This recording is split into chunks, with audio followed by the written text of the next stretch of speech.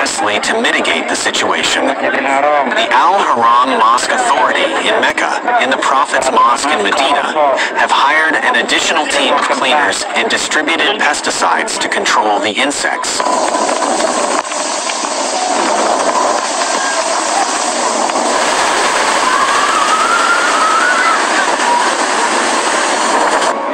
Thank you.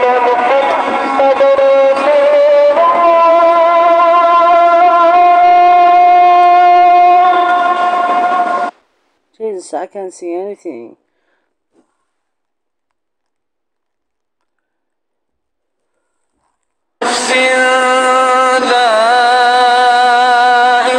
Now video has been circulating online showing Saudi Arabia's Mecca, home to Islam's holiest sites, being battered by storms that have affected the pilgrims.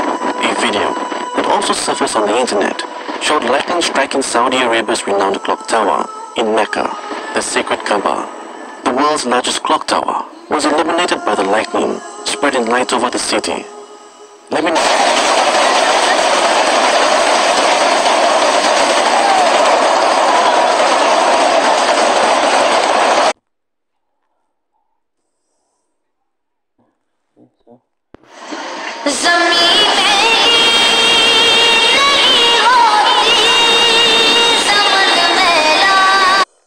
This is this thing. Uh, Graven Tomb of the Prophet Muhammad. Um, you see this bed here, like this next to the well. So there's nobody in the bed, is the point.